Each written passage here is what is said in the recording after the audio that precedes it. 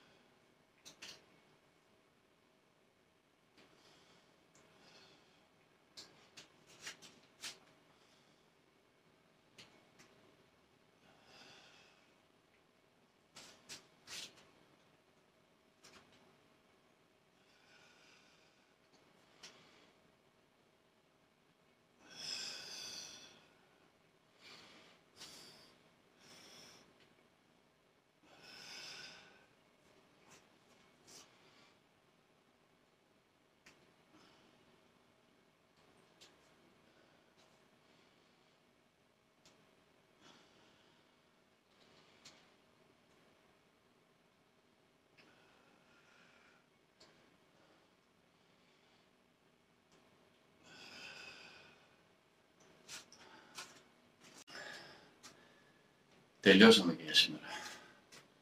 Με την προπόνηση στήθους και επίχυση.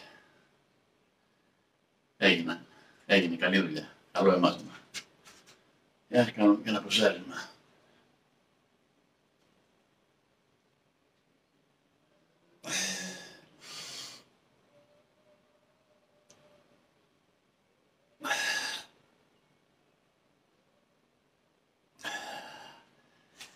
Καλές προπονήσεις εύχομαι σε όλους σας, χωρίς τραυματισμούς. Ελπίζω να σας άρεσε το πρόγραμμα, να το δοκιμάσετε και να μου πείτε τις απόψεις σας. Εγώ στο άλλο βίντεο σας χαιρετώ. Γεια σας.